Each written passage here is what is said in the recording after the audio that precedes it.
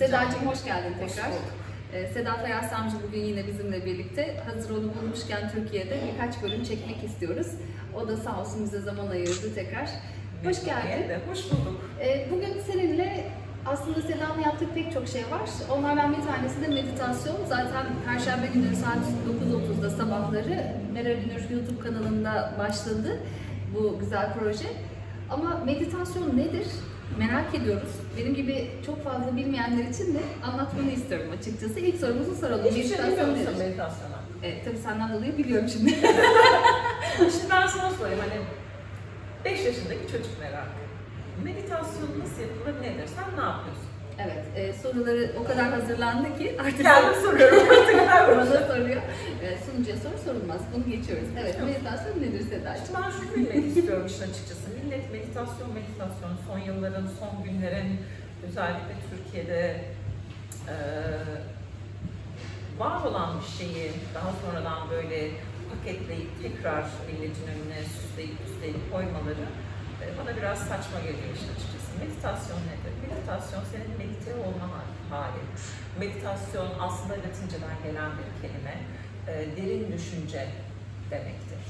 E, biz derin düşünüyor muyuz? Tabii bu ekonomik şartlarda sanırım yeterince millet derin düşünüyor ama aslında e,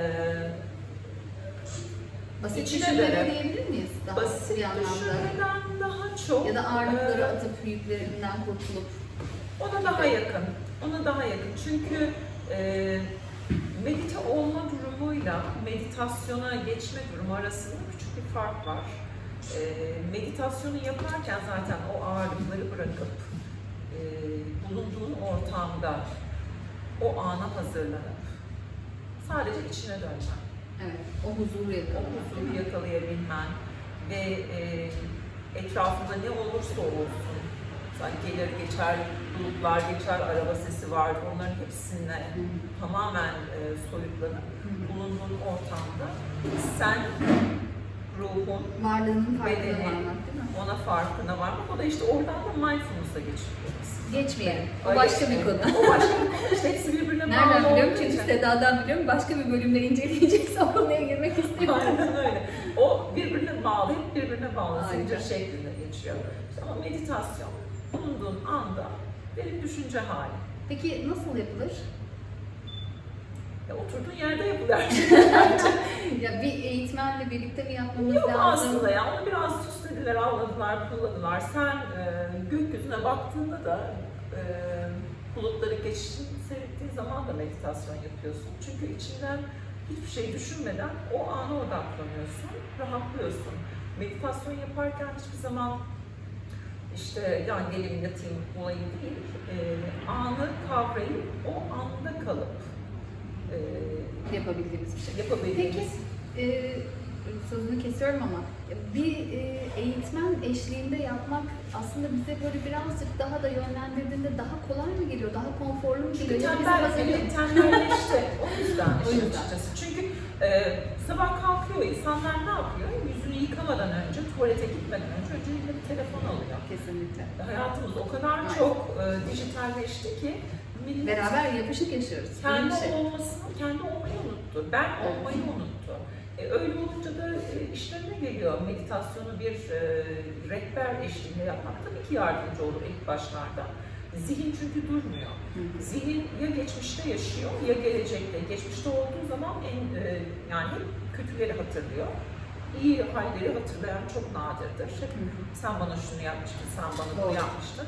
E, gelecekte yaşadığı zaman da hep e, bir e, anxiety, bir e, belirsizlik, Bir kaygı. kaygı var. Hı. E, anda kalma olayı olduğu zaman zaten meditasyonda aynı şekilde bulunman gerekiyor. Paralel ilerliyor doğru. Tamamen söylüyorsun. paraleller. Peki e, herkes meditasyon yapabilir mi? Kesinlikle yapabilir ama bu beynimizi şeye gidip de e, spor salonuna gidip de nasıl kas çalıştırıyoruz? Meditasyon da onun gibi bir şey. Yani onu, onu da çalıştırıp beyin kaslarımızı güçlendirmemiz lazım. Ben tam bu noktada özellikle de 16-17 yaşında çocukları olan e, ailelere seslenmek istiyorum. Uzay'ın bir uyku problemi oldu. E, sınav dönemlerinde, çok stresli olduğu dönemlerde. Dedim ki Seda'nın meditasyonları var. Senin Clubhouse'daki e, kayıtlarını almıştım biliyorsun. Ee, aslında tabii ilk etapta yeni nesil hani olur mu olmaz mı derken sonrasında şu hale geldi böyle birkaç gece sonra Seda'yı açar mısın? Uyumak istiyorum. O da güzel. İnanılmaz evet çok keyifli geldi. Yolladığım evet yolladığım linklerle gerçekten de böyle bir e, huzur ve kesintisiz derin uyku hali yaratıyor. Bu anlamda teşekkür ederiz hazır Rica ederim. Ama şimdi herkes her meditasyona e, hazır olmayabilir. Evet. Hazır olmak da önemli. Ve bilgi e, hazır olana verilir. Sen ona hazırsan ancak öyle alabilirsin. Evet. Uzay demek ki ona hazırmış ki o yüzden aldım.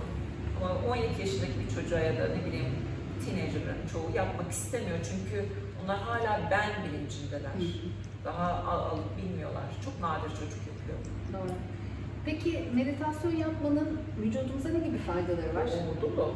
Mesela Stres azaltıyor. En önemlisi. Tabii Bütün hastalıkların başında. Anxiety dediğimiz şu anda son yılların en model şeysi e, benim anxiety'm var falan Evet. hesabı.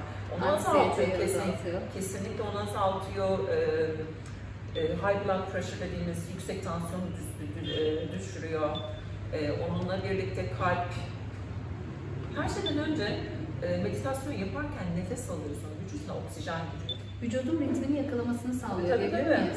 Vücuduna oksijen giriyor çünkü meditasyon nefesle birlikte ve mindfulness'la birlikte birlikte yürüyor. Yani tek başına olacak bir şey değil. Hani e, diğer dinlerde de dinle hiçbir alakası yok bu arada. Hı hı. Dinlerle ritüelize olmuş bir şey. Hı hı. Yani e, İslamiyet'te mesela namaz kılarken yapılabilir ama millet namaza durar işte e, yemeğin altındaki açlık kapatmayı unutmuştur o aklına gelir. Hani çamaşırı asmayı unutmuştur o aklına gelir. Namazla e, meditasyon tamamen farklı şeyler. Yani meditasyon oturduğun zaman da aslında e, aynı şeyleri yapmak gerekir. Namaz kılarken de medite. Çünkü seninle yaradan Arasında arasındaki- hiçbir şeyin olmaması. Aynen öyle. E, senin o halde medite olman gerekir. Hatta Hazreti Ömer demiş ben e, ok bak, bakmış da ben namaza durduktan sonra onu çekilmemiş. Çünkü Evet. adam o meditasyon Hı e, hı. Aynen. haline geçiyor ve artık e, kendinden geçiyorlar. O bizim hani theta healer, healing dediğimiz o medite durumları beynimizin o beş akımdan bir tanesinin durumu hali. Hı hı. E, öyle olduğu zaman sen ve yaradan aklın arasında hiçbir şey kalmıyor. Bir tek nefesin. Evet, süper. Peki son bir soru daha sormak istiyorum. Ee, meditasyonu e, soramadım.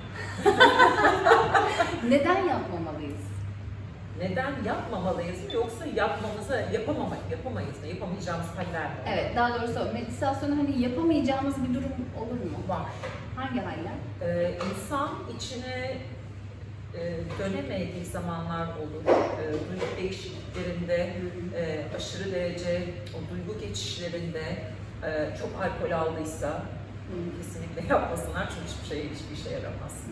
Ondan sonra Araba kullanırken dinleyebilir mi bir yandan? yok Dinlememeli. yani e, yok araba kullanırken kaza yapmayın ne olursunuz. Kesinlikle. Dikkat dağıtıcı şeyler. Dikkat dağıtın çünkü, çünkü şu var, hani meditasyon yaparken istemesen de Rahatlama. vücutta rahatlama olayı var ya, e, o belli bir rutin sesin olması lazım. Eğer o sesi yakaladıktan sonra vücut tamamen aynı modda, beyin, beyni aldı gidiyor, aynı modda kalsın ama seni uykuya bile koyabilir. Evet. O yüzden bu araba Kullanırken. kesinlikle yasak. Ee, bir de şöyle bir şey var. Hani meditasyon sırf sadece oturup om deyip Hint fakiri gibi oturmak değil. Hı. Farklı şekillerde de meditasyon yapılabilir. Mesela? Ee, mesela konsantre olamayan insanlar oturup e, bir şeye fokus olamayan insanlar yürüyerek de meditasyon yapabilir. Adımlarına odaklanarak. Adımlara, adımlara odaklanaraktan daha çok e, vücuduna odaklanarak, işte o adımı attığında nefesi alırken o nefes nereye anını. Aynen, duygu, Harika. düşünce hepsini aynı anda. Ne bileyim bir parka gidersin, deniz kıyısına gidersin, bakarsın ama görmezsin çünkü aklında bir sürü şey vardır. O beynindeki e, ne bileyim işini durduramazsın. O sana meditasyon Engel olur. engel olur. Tamamen engel. Meditasyon değil o. Ama e, deniz kıyısına gidersin. O dalgaların Sesini, sesini duyarsın, görürsün. Denize bakmak uzun Tuzunun, uzun. tuzun kokusunu hissedersin. Hı hı. Belki şöyle bir Fazla gelen yüzüne slash gelir, onu hissedersin. E, o işte o anda kalırsın ve onu gerçekten Hissedersin. şu anda hissedersin. O çok önemli. Kesinlikle. Ama işte bu e, çok medite olamayanlar için bu sefer ne diyoruz? Yürüyerek meditasyon yapabilirsiniz. Yemek yapmak da bir meditasyondur. Evet bir terapi değil mi bir anlamda? O da meditasyon. Hı hı. E, çünkü bulunduğun anda o yemeği keserken ne bileyim soğanı kestim onun kokusunu, onun Hissederek yapmak. hissederek Evet, aynen. yani biz yedi, yediğimiz şeylerin meditasyonu bile yapabiliriz ama yapmıyoruz. Neden? Bir, Hızlı e, yaşıyoruz çünkü değil mi? Yetişme telaşı Ya yemeğe oturuyorsun, yemeğin tadını almadan haldır buldur yemek bitiyor. Hatta şöyle yapıyoruz, yemeği yerken bir yandan da acaba ne oluyor sosyal medyadan Tabii yapıyoruz. tabii. Bir de o televizyon seyrediyor çocuklara yemek yedirmek. O çok yanlış. Çocuk ne yediğini feyizsizce yiyor, hiç ne yediğini bilmiyor. Doyduğunu bilmiyor. Bilmiyor çünkü bir yandan anne bizim bir de Türkiye'de e, besleme huyumuz var. Evet. E, çocuk ağzını açıyor ve istiyorsun. Çocuk televizyon seyrediyor ama ne yediğini bilmiyor. Yani aslında her şey meditasyon olabilir. Yaptığın şey aynı anda ne bileyim severek yaptığın beş duyu organın orada olduğunu Hissettiğin, anda ya bulaşık yıkarken bile meditasyon yapabilirsin. Çünkü bulaşık yıkarken başka bir şey düşünmüyorsun. Araba kullanırken dinlemezsin ama sırf araba kullanmak da senin için meditasyon olabilir. Çünkü başka hiçbir şey düşünmüyorsun. Sadece yola odaklanıyorsun. Kafana, aklına başka şeyler gelmiyor. Tilkiler dolaşmıyor. Peki son bir soru. Her gün meditasyon yapıyor musun? Ben mi? Evet. Yapıyorum. Yapıyorum. Ben e, dörtte kalkıyorum genelde sabah. Uyumuyor zaten kendisi. Uyumuyorum. evet, Türkiye'de hiç uyumuyorum. Evet, e, Londra'da da çok erken kalkıyorum. hı. E, yaklaşık bir buçuk saat kadar meditasyon yapıyorum. İnsanın böyle aslında 24 saat içerisinde kendine bir, bir buçuk saat ayırması e, Kendine yaptığın yatırım hiçbir zaman kötü yatırım değildir. Bu meditasyon olsun, Spor eğitim olabilir, olsun, evet. spor olsun, yoga olsun. Kendine yaptığın yatırım her zaman iyi yatırımdır. Her zaman onun, onun geri dönüşünü alırsın. kesinlikle. Çok teşekkür ederiz. Rica o zaman. Harika. e, kendinize yaptığınız yatırım en güzel yatırım. En güzel yatırım. Burada noktalıyoruz. Bir sonraki röportajımızda tekrar görüşünceye dek şimdilik hoşçakalın.